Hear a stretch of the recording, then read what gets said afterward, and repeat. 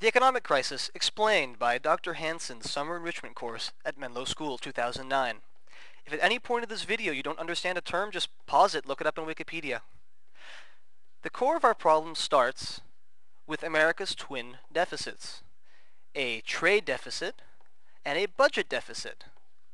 When Americans drive home from Toys R Us with foreign goods, they are importing toys and sending off their dollars overseas. What happens is that America is importing a lot more than they are exporting, leaving foreign countries with a great deal of US dollars and America with a big trade deficit. We also have a big budget deficit. Americans want greater services from the government, but don't want their benefits cut and don't want their taxes raised. As a result, the government is spending a lot more than it's bringing in. So you've got two deficits. You're importing a lot more than you're exporting, and you're spending a lot more than you're bringing in. And what that leads to is a phenomenon called hot money.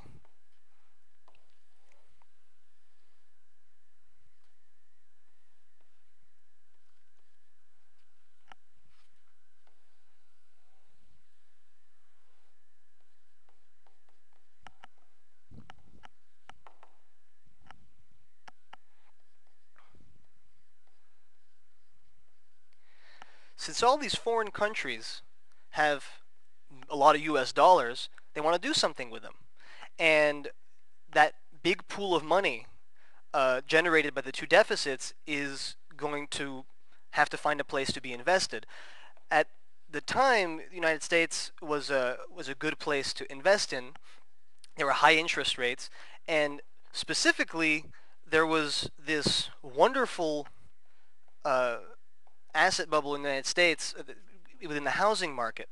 The house prices were consistently rising, and so it seemed like a great investment, a great place to put your money.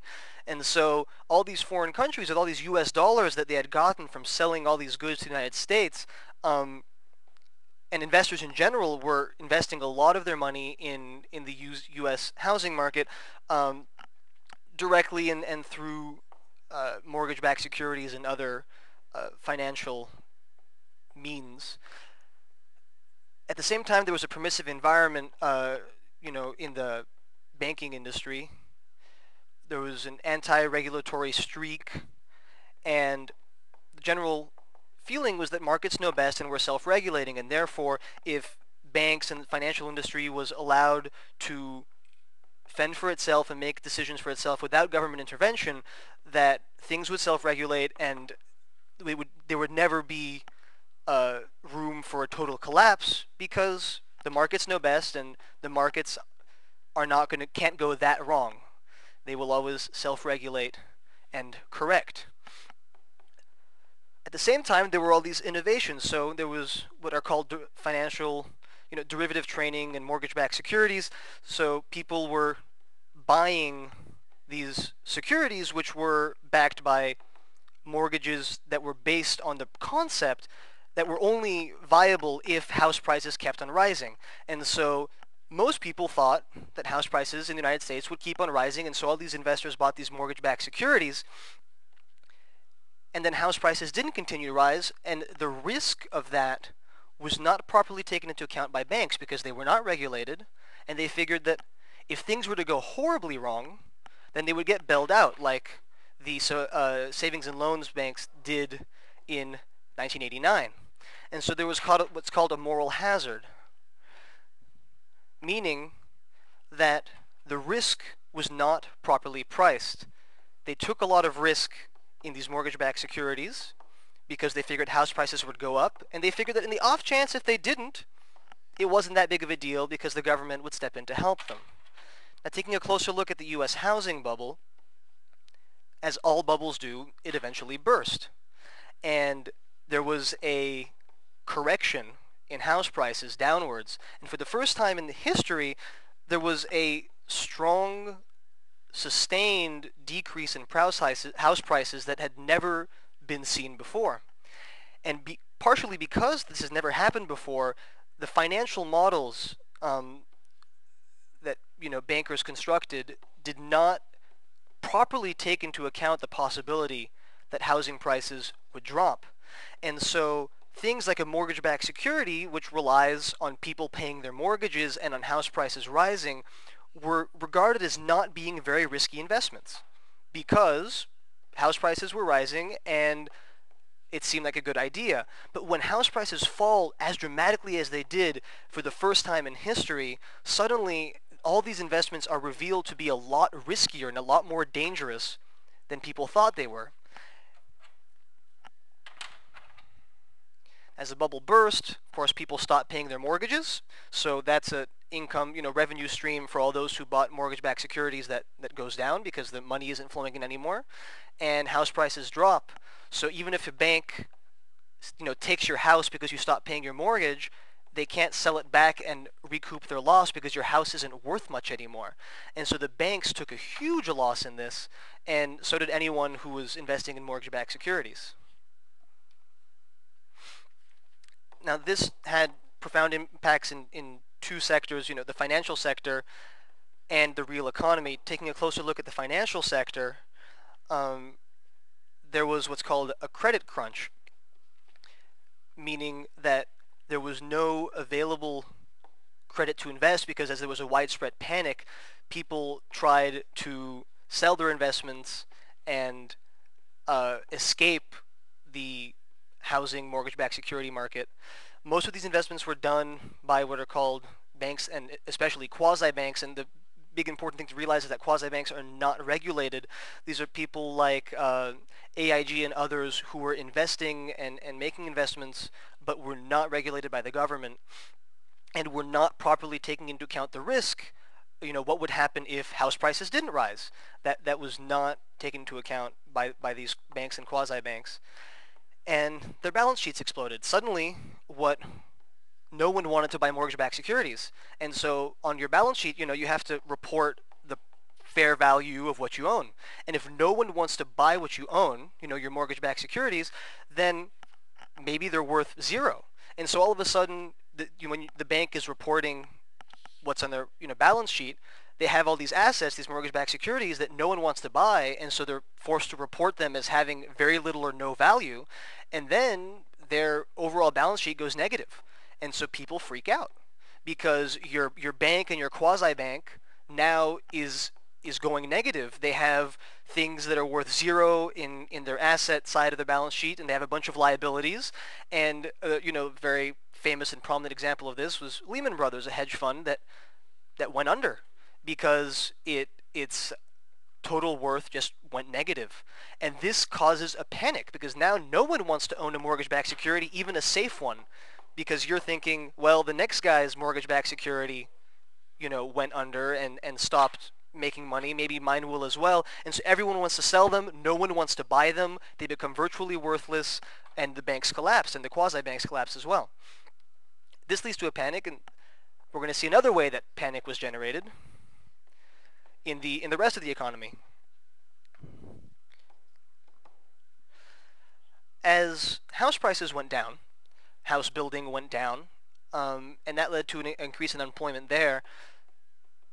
An increase in unemployment because of a general decrease in wealth generated both by the drop in housing prices, the immediate effects of that, and the indirect effect of a drop in housing prices, you know, the fact that mortgage-backed securities were not worth anything anymore and banks had collapsed and people's savings vaporized. That combined with unemployment meant that people, the consumer confidence went way down.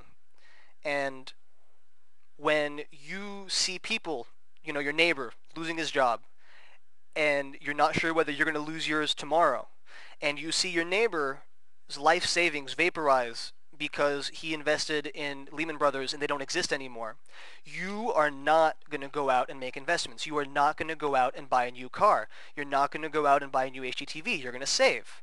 You're going to try, you're not going to trust this, the, you know, your investments. You're going to try to get your money out of your investments. You're going to sell your stocks. You're going to try to sell everything you've got. And so stock prices go way down. Dow drops from 14,000. Now it's about 8,000, almost halves. Um, car sales go way down. And that's how you get these, you know, that, that you see it in the news. You have GM going bankrupt and needing great government intervention. That's how that happened. Because house prices go down, banks collapse, people lose their life savings, and people become extremely worried about their financial future, and so they stop buying new things.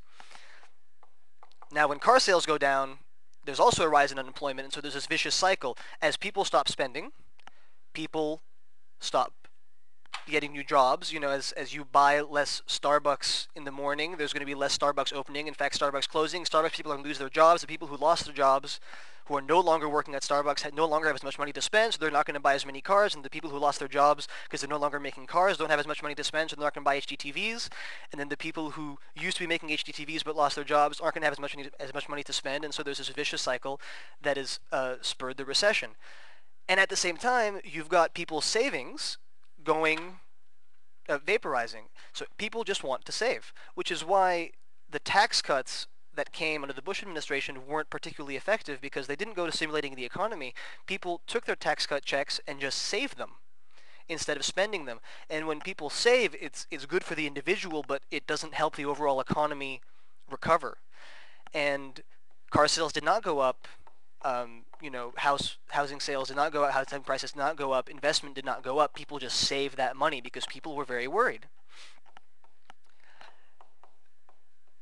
And this is a problem for any government stimulus policy. You're going to want to figure out how you can effectively use government stimulus money to stimulate the economy in a way that will guarantee that your money is going to be working and not just going to people's savings accounts this this is how you can see different philosophies. Are you going to give people tax cuts and then just have them save them, or are you going to directly spend on a government project, say renovate a highway, and that way guarantee that that money is being spent on new tractors, new services, and, and hiring new people.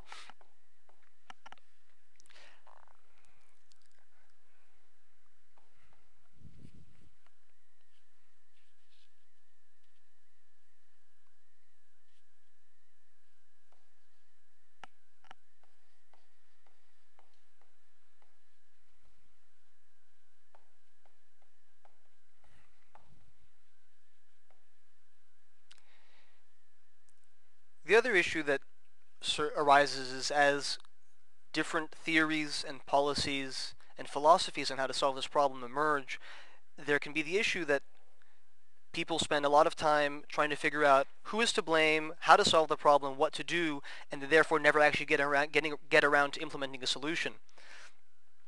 Um, and so the open-ended question that we're left with is who's to blame, how are we going to fix this problem, and what are we going to do? And most importantly, if we spend too much time arguing about this, are we ever going to get around to implementing a solution? And to go back to the beginning and give a, a view on how this all started, going back to the permissive environment that that led to all of this, what really spurred it all was a general government policy and an idea that homeownership was a good thing, and that it was very it was an important policy goal to have a high level of homeownership in the United States, and therefore Fannie Mae and Freddie Mac, uh, two institutions, uh, greatly expanded mortgage lending in in risky areas, as everyone has heard, into subprime mortgage, and as they did, other banks followed. And as other banks followed, and everyone was lending into, into subprime mortgages that created a lot, much more volatile situation that strictly depended on the rise of house prices to remain viable. And so because house prices did not rise and because there was so much lending into subprime areas that were directly dependent on that factor that greatly accelerated the demise of the financial system um, because of all the, the risk that was taken. And so therefore, it's not just the federal government, it's not just Congress, but both are in charge of fixing the mess because in the, in some ways they are both responsible. They have created the twin deficits and they created a housing policy that encouraged lending into very, very risky areas to boost the homeownership count in the United States, and that created a bad combo. And now the real question is what to do.